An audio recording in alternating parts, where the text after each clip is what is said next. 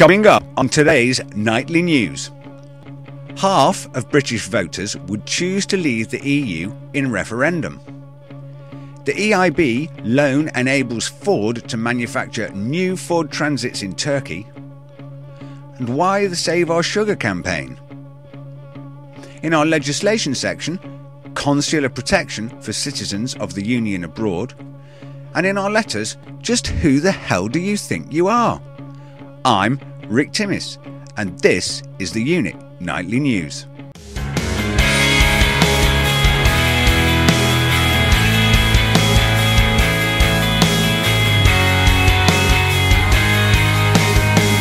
Half of British voters would choose to leave the European Union if they were offered the choice in a referendum, a poll has found. The survey will fuel the growing political debate about Britain's future place in the EU, which has seen even cabinet ministers suggesting that the UK would prosper outside of the Union. British voters were also gloomy about the future of the EU, with 65% saying they are pessimistic about the Union's perspectives, while only 22% were optimistic. Now, it's hardly surprising. You've got multinational corporates dodging taxes, whilst the middle classes get reduced services.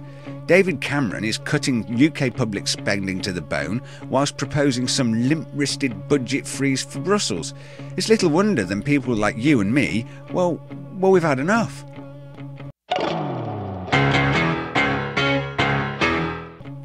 On the 18th of October 2011, the European Investment Bank announced a proposal to lend up to 200 million euros to Ford in order to help upgrade their facility in Turkey.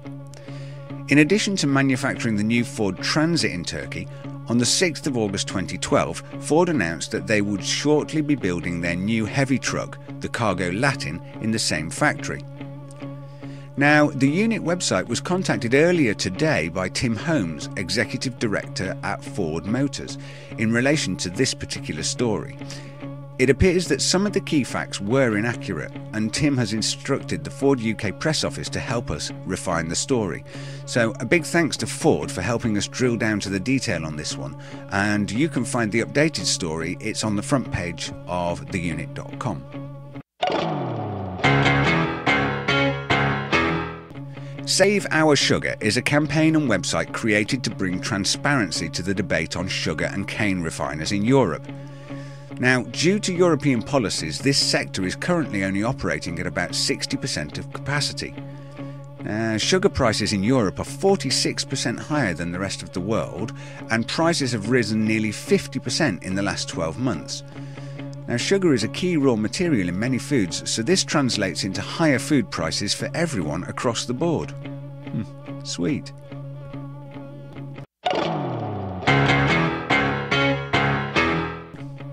More legalese from our research department. Today, in our legislation section, we have a report on consular protection for EU citizens when abroad. According to Article 23 of the Treaty of the Functioning of the European Union, Every EU citizen is entitled to protection by the diplomatic or consular authorities of any member state when that citizen is in a third country where that citizen's nation state is not represented by diplomatic or consular authorities. The Stockholm Programme, as well as the European Parliament, both call for common concepts in consular protection in order to facilitate the access of EU citizens to their rights, including the right to protection in third countries. Well, I'm still pretty sure that I'll be asking for the British Embassy the next time that I get arrested in Trinidad and Tobago, however.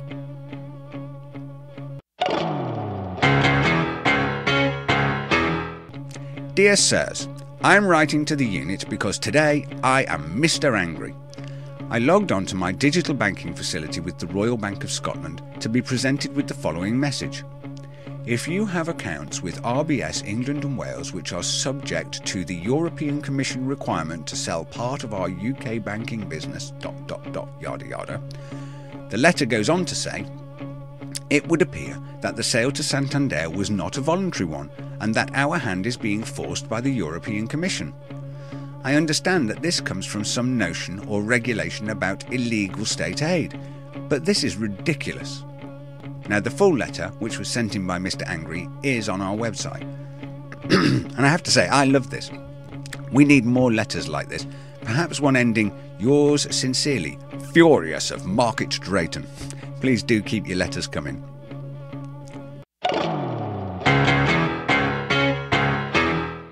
I interviewed Dr. Eric Edmond today, formerly of the Monetary Policy Committee for the Bank of England, and I put Andrew Boreman's question to Eric and got a very interesting answer. So, watch the new EuroCon programme for that interview, and I'll keep you posted here.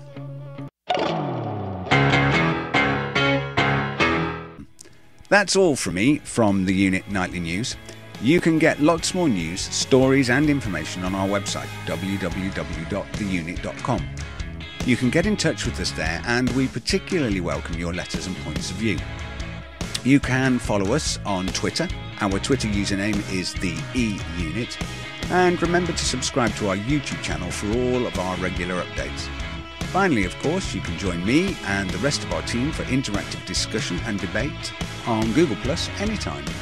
Rick Timmis for the Nightly News. I'll see you soon.